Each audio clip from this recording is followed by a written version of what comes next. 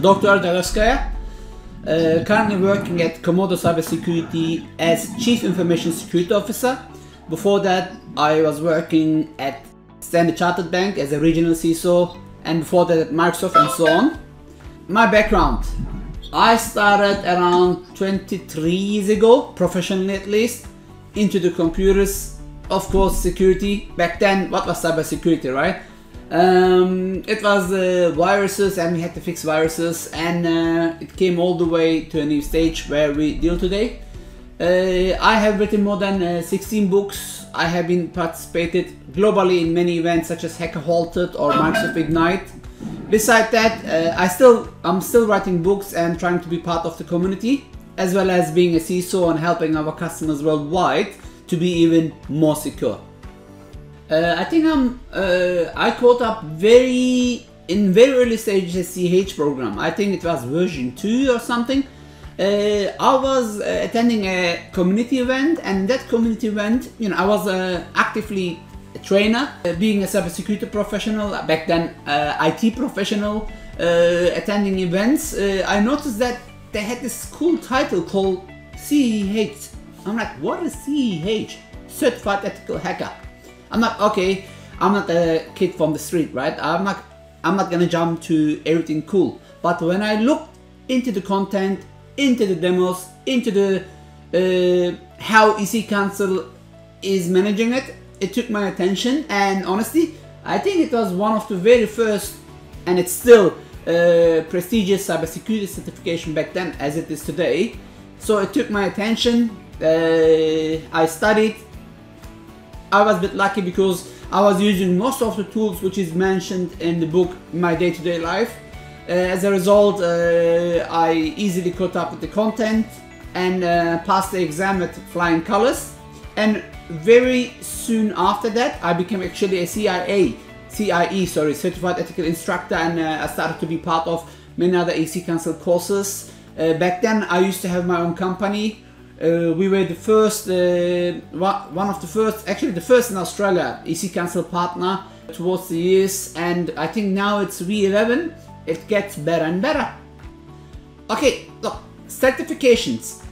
There is two types of certifications. One where people they truly understand the value, study, learn, and uh, get certified. Two where people, you know, they use brain dumps or they use uh, some sort of uh, pass the exam tactic and do not gain anything out of it.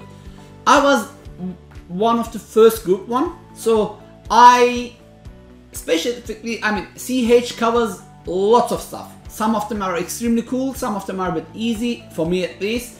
So it gave me the opportunity to see the holistic view of um, how a hacker thinks. And um, I, I was able quickly to gain the knowledge that I didn't have uh, in some areas and uh, with the extra training materials with extra help of uh, other books other certifications I gain lots of knowledge which helped me to move forward in my career. So in back to your question certifications are good to show what you know. Uh, yes, you might be a cybersecurity professional for so many years or a pen tester or you name it, but how are you going to prove that? Yes, you can be uh, doing some tests, uh, when I say test, penetration testing or some skill set, or uh, when you send a CV, unfortunately, you cannot show it proof anything, but having CEH in your CV is a big benefit. Now, I'm a recruiter myself. I'm just hiring right now, even actually at Comodo Cybersecurity, uh, team members. In the bank, I used to hire it, and if you go and check at comodo.com careers, you will see that CEH is one of the requirements. Uh, I'm not just one of the certified one. I do also want the people that I'm going to hire to have this certificates because I benefited. If people uses as I used in the past, I'm pretty sure they will benefited as well.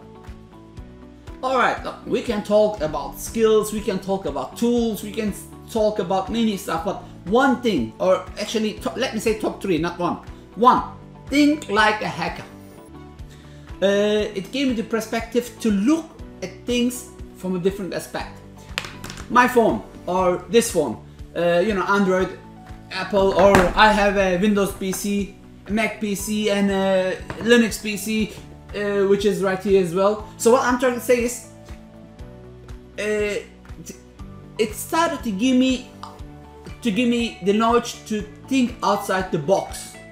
Besides that, it showed the importance of uh, social engineering, human hacking, uh, which is also one of the chapters in the training, uh, which took my attention. And um, the information gathering actually was also important part of uh, taking my attention. You know, back then, hacking had five phases. One, uh, you know, information gathering, two, scanning, three, gaining access, four, clearing uh, tracks, sorry, four, um, maintaining access, and five, clearing tracks. I'm like, hmm, this is actually what we do in real life. Hacking versus real life, they are actually very, very similar. So same, you can get this analogy to buying a car. You go and search your car, information gathering. You go and look at the car, scanning. You do test driving, you, you, know, uh, what I'm trying to say is this methodology came to me from CEH and I truly enjoy it. And I use it daily in my life. I met so many smart people in my classes. They were students. Uh, so, some in some of the topics they were much better than me. In most of the topics I was much better than them. So CEH was giving me opportunity to meet smart people like myself and actually learn from each other a real example. I think it was 2009 in Canberra, Sydney, Australia, our uh, capital city. I was uh, training a couple of government students, and one of them came with a with a you know router back then, and he said, uh, you know, I don't like this firmware. During the class in the labs, he hacked the firmware and he changed the operating system structure, which I mean, basically he found a open uh, back door uh, and he changed it in a different to work in his favor. I'm like, how did you do that? And we learned from each other. And I'm like, why are you in this class? He said, look, I'm good in ABC, but you are good in A, B, C, D, E, F, G.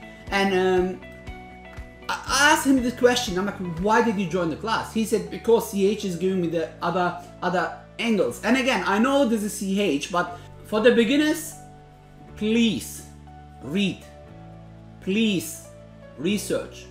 Please put your hands into the keyboard, practice.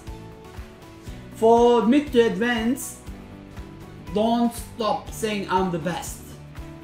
An example, uh, one of the world's biggest cybersecurity firms were just hacked through third-party supply chain attack. They are, I mean, they are a fortune company. They, I mean, I, they work with many, many huge organizations. They not just work, they secure them, but they were hacked as well. It means there's gonna be always better than someone better than you. Don't give up. Always study. Sometimes it's gonna be hard. Sometimes it's gonna be uh, painful. But the moment you give up, it's gonna be all over. If you don't give up and if you enjoy what you do, you should move forward and you should be a better cybersecurity professional. 23 years ago, I had no way to think I was, I was gonna be a CISO in a global bank or I was gonna be a chief security advisor or trusted security advisor at Microsoft. I could not even dream about it. And now, uh, Comodo Cybersecurity is one of the world's biggest cybersecurity firms again. I had, I could not even imagine I was going to be the CISO an organization which protects other organizations and all started with me uh, getting certified. When I say getting certified, as I said, understanding the value. Look, there, you're gonna have some people saying, oh, CEH is not good, BH is good, go to BH. Honestly, it's not the names which was make it good or bad. I'm the example here. Uh, I started CEH. I mean, I'm talking about the haters. Oh, CEH is, you know, I honestly, this is not a paid content. This is totally uh, my my true opinion. There is lots of value that you which you can gain if you select the right training method. If you spend the time on improving your skills. If you're advanced and you come to CEH, no, there is LTP. There are some other classes. Uh, so please, it's like buying a car. if you need to drive in a desert, what is the best car? Ferrari or Lamborghini that we all or Bugatti. You know, we all uh, know the names. So because you have the best car, but in the wrong concept. So you need a four-wheel drive instead of a uh, or SUV instead of a, a sports car. Same applies for training. There is no one fit training for everybody. Know your skill set. I mean, EC Council has a beautiful website. I think they still have it. They do a prerequisite check where you can answer some questions, and if you fail it, if you pass it with flying colors, then you should maybe do the master class. If you even pass this, maybe you go to do LTP class. If not, you can do the uh, CAST. I don't know if you still have CAST. You used to have CAST, Center of Advanced Training. Uh, you can, you know, there is different level of training that you can gain. And if you select the right tool, in this example, the right training, then you should be able to help yourself in the right way.